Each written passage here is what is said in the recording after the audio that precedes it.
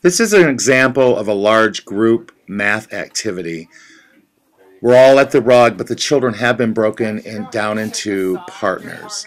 So they are all getting a can of what we call math blocks.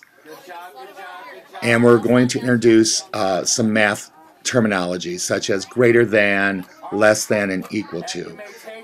This example is equal to. They're going to look for, uh, they're going to demonstrate uh, counting that is equal to 4. All right, I want you to do You don't know what you want yet. the same as four. You can see the young boy looking at the number and discussing it with his partner.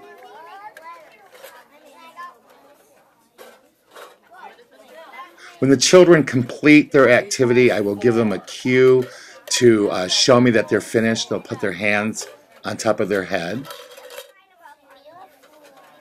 When you're done, please put your hands on your head so I know that you know Did you guys work together on this? and are ready to move on. And then we start checking the work. The children are really in charge of checking their own work, working together. Did you do And then we look back at our example and they showed us two different fours. ah equals four?